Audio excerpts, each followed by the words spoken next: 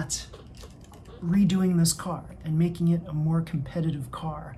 So I think we can basically take what we have here and improve upon it so that we can shave off seconds on the final time. So the engine has not been tuned. We're going to tune the engine. We're going to remove all the burrs around the wheels, around the plastic parts. We're going to oil up all the parts. We're going to make sure that this thing is race worthy because she'd really like to race this in a box stock race and see how it does. So there's no guarantees that it'll win a box stock race, but we're going to use our knowledge and know-how to try to make this into a better racer. So let's do it. The first thing I noticed after just disassembling the car is that nothing has been oiled, nothing has been greased. So this is basically just a box stock kit that's been put together using basically just a screwdriver. So what we're going to do is we're going to oil and grease up the various gears, little pinions and cogs, and we're going to make sure everything is well lubricated. So next we're going to replace the engine with a tuned engine. It's not tuned per se as in tuned class engine. It's basically a motor that's been broken in. So this purple pinion, we could actually replace this with a black one, with a carbon-based one, and it will still um, be considered box stock because the purple pinions are no longer allowed in various Tamiya races. So let's just make sure that we have some good grease here on the pinion, and I use a paintbrush to basically swab all of the pinions, all the pinion teeth and I'm going to drop this right in place. Just like so. We'll replace the motor cover.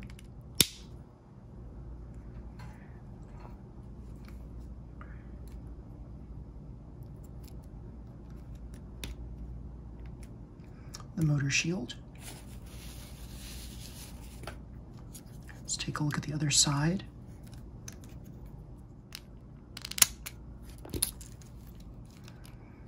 Make sure that these parts are well lubricated as well.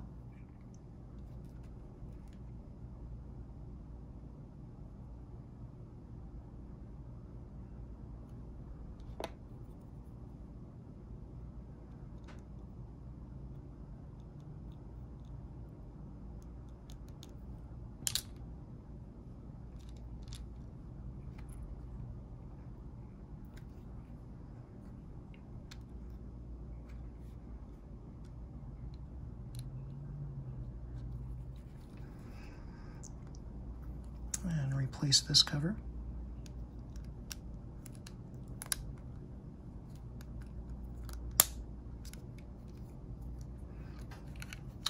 We're going to clean the wheels now of all of these burrs. It looks like my girlfriend never put the palm keylets in, in place. I think you're supposed to put that in those little rings and then you have these metal keylets that you put inside the ring. So she never did that. So she must have skipped that part. I think that really contributed to a great amount of a loss in power on this particular model. Okay, so first big addition was the motor. Next, we're going to add the keylets. So what we need to do is use two of these and two of these.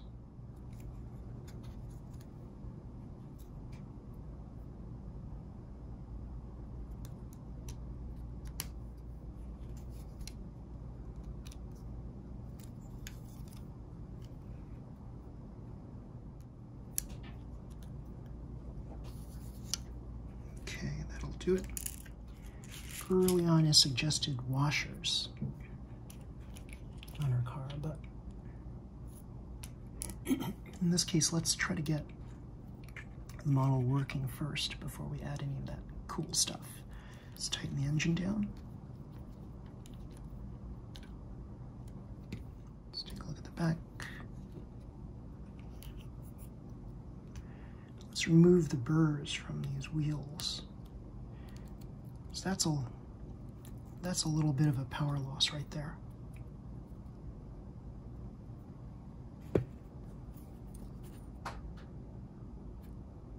So you want to make sure that your wheels are smooth. Can't leave these bumps on there. The bumps will definitely prevent you from attaining your fastest times. Think about a car, a big car, a car that you drive what if you had bumps in the tires? Don't you think that that would somehow affect your times? So we're going to make our tires as smooth and flat as possible. Now over time, these tires are just going to, to wear. And eventually you need to replace these tires. But that's not going to happen for a while. So try to make your tires as flat as possible at the outset. Then you'll do good. The wheels also, try to remove all the excess burrs along the wheels too. Because when these wheels spin, they're going to spin at high speed. And you want the rotation to be as smooth and as fast as possible. So you want to remove those burrs. What's going to be the difference in time? If you were to truly measure this, you might find a negligible difference, but you don't want all these little things to add up because they do add up and they do slow down your car. Okay, so this is a nice round wheel now. Now that we removed the three burrs that are there, we can now place the tire on. So the tire looks like it's a reversible tire. So I'm gonna just place this back on. And these aren't super hard tires. They're kind of, they're kind of softish. Let's try this with the other side too.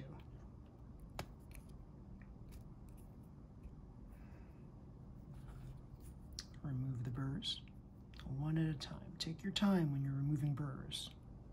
It's better to cut a little inward in the tire rather than leave anything out, sticking out. So you don't want a nipple sticking out where the burrs are. You want flat, ideally, or a little concave into the tire. And again, the tires will wear over time and they will flatten out over time. So if you race this enough, eventually you'll get a more consistent tire. Well, it all depends also on the wear and tear of the tires and how things like your track, how stable axles are, that determines a lot on how the tires wear. It's mostly the track though. If you have a very rough track, you're going to get uneven wear on your tires, sometimes harsh wear on your tires. So I'm going to remove these axles. I'm going to test the axles with the wheel, um, the, the shaft tester, because I want to make sure that these are straight.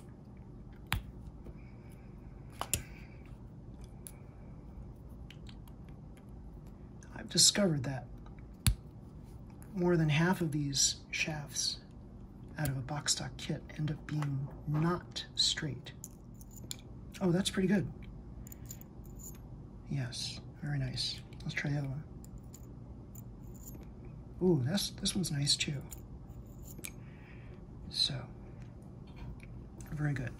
We bought from a good dealer, AAA Hobbies, has um, quality stuff um, you buy from someone online, you never know what you're going to get. You might get something old that's been sitting on a shelf for a while. It's always best to get fresh stock from, from your local hobby store. So let's put let's put this tire back in place on the wheel.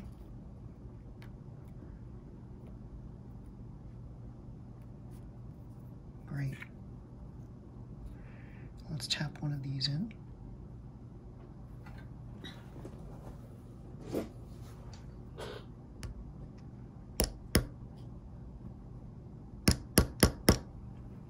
Yes, I'm using a wheel pusher to tap it in. Let's remove all the burrs from these tires as well. These are the front tires.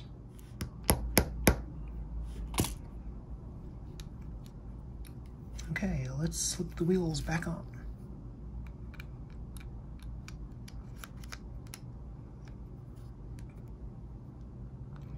So I'm not going to push all the way because I want the wheel pusher to actually do most of the job. Okay. So here's the wheel pusher.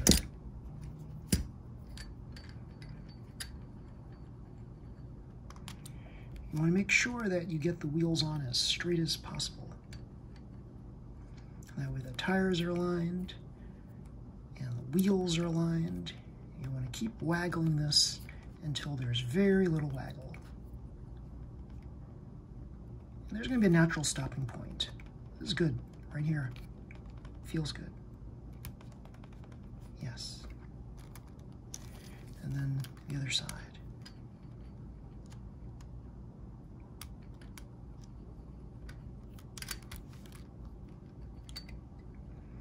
And that ensures that the axle and the wheel are perpendicular, perfectly perpendicular to one another. Remember to keep waggling. Waggle, waggle. And there's a natural stopping point, so don't over tighten.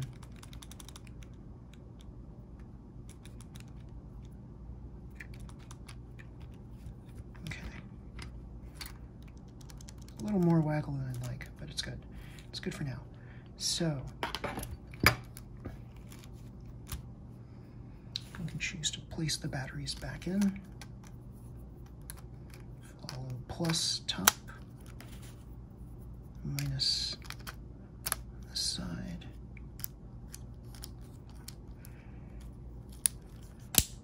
Great.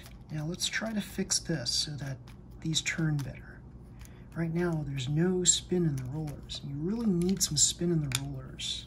The rollers are a large part of how this thing is going to traverse the track smoothly. So you want to make sure that the rollers are smooth, smoothly rotated. It looks like my battery cover, battery catch, just like popped off very easily. So let me see if I can snap it back in place. Let's see what's going on here. There we go. There's the snap. Oop. Oh, what happened here? It doesn't want to stay on for some reason. So this goes in the front and it doesn't want to stay on and I don't know why. Huh. Now it's on. Well, we'll see if it stays on. So, let's take a look at what's going on here. She decided to put these things as washers underneath the rollers, and that's why they weren't spinning freely. So the wheels should be fixed now, so that's good. So now we need to fix these rollers. So let's make sure that the burrs are removed. Just like the tires and the wheels, you want to make sure that you get every little bit off of the sides, the edges of these rollers because you want to make sure everything is smooth. You can even go over things with a file in a very gentle manner. Here I have a nail file. That's good for this purpose. It's a very fine uh, sanding, fine grit, so we get nice smooth surface once we're done. Don't be afraid to use everyday tools that you might have around your house for this. So there we go. That's one.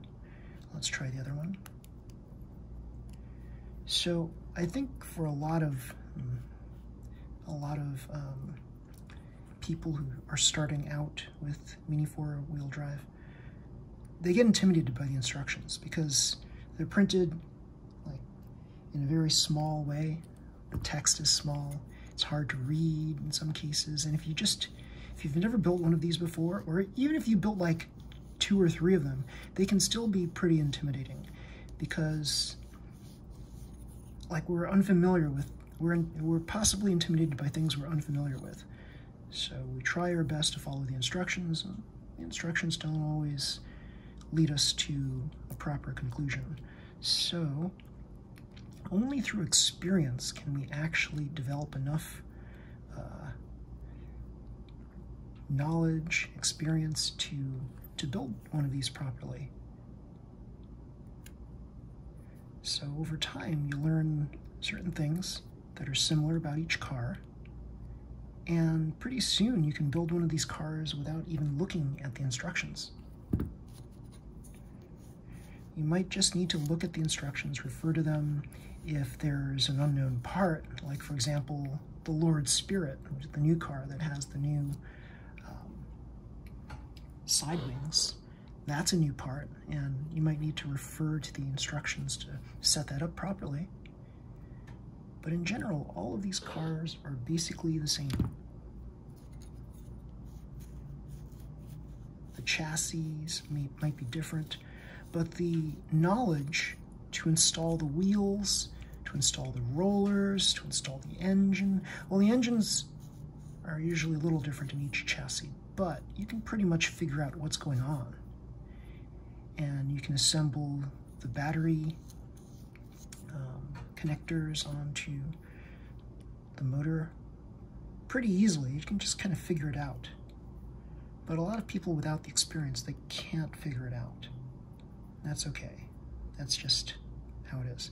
So let's put a little oil on these rollers on the inside. What I like to do is oil them up. I don't really like to use grease here. I use oil. So we've got this handy dandy Tamiya oil pen. So there we go. And I'll oil up the revolving screw. And I'll insert the revolving screw in here. Then I will attach it to this Super 2 chassis. Now, I noticed something else. Okay, I'm going to fix the chassis also because there are burrs on the ends here. And these actually drive me nuts when I see them because they shouldn't be here.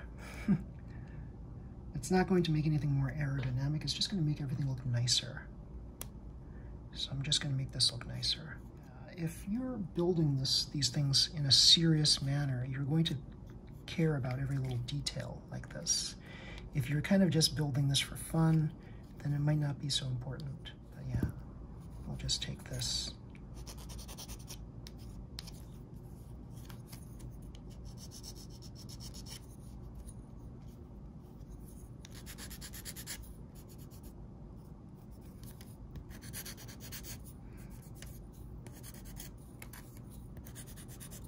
There we go.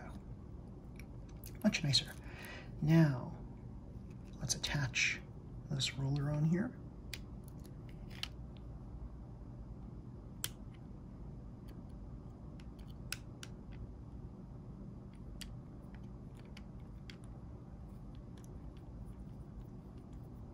Ten, 10 turns. It's a little loose, waggly. We'll continue the turns. One, two, three, four. Still spins freely. Tiny bit of waggle, couple more turns. One, and it feels like it's there's some resistance. So there we go.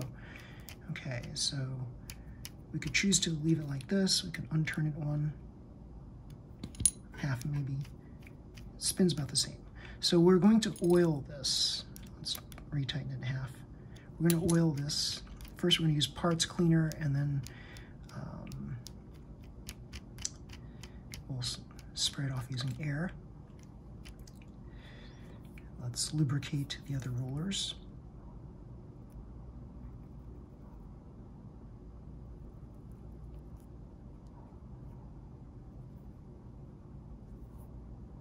Oh, a little faux, faux pas here that I just did.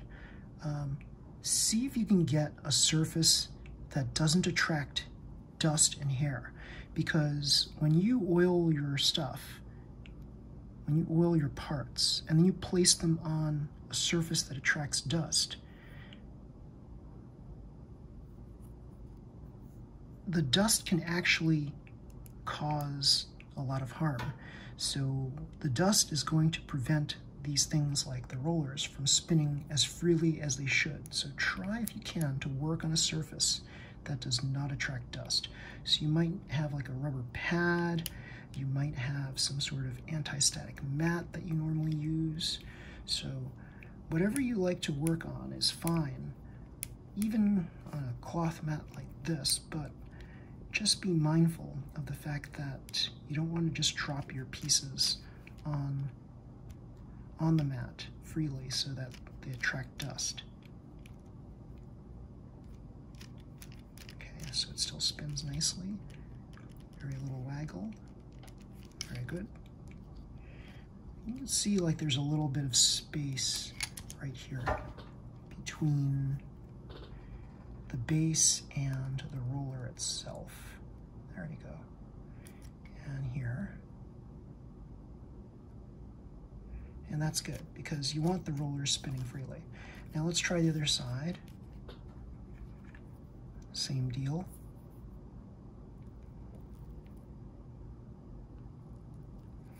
Let's place this up here this time. That way we don't attract any any dust from the from the recently lubricated part. So you see how this oil pen works. It, it basically continuously releases oil and it's like a little paintbrush. So that's why I use for the grease, I use a little thin paintbrush for this. And these can be purchased very cheaply through Amazon, these paintbrushes. You can get a whole set of them for relatively cheap.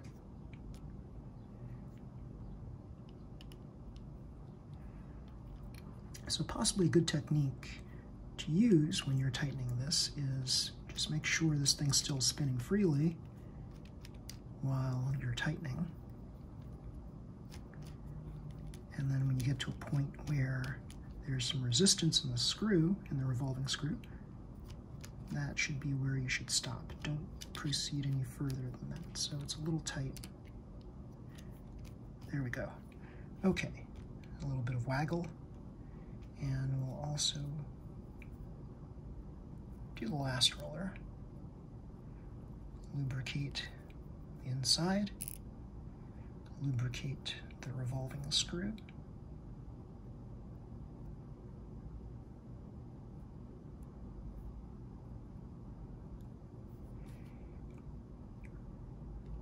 Remember to replace your oil pen and your grease tube uh, if they're running out. It's pretty difficult to figure out how much oil is left in the oil pen without placing it right here on your on your hand just to see if anything is being released from the pen.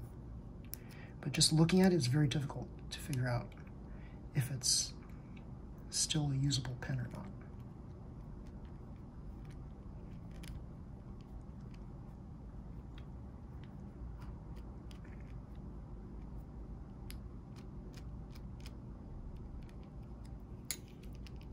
Okay, excellent. So, bit of waggle there. And here, good. Okay, let's put the cover back on.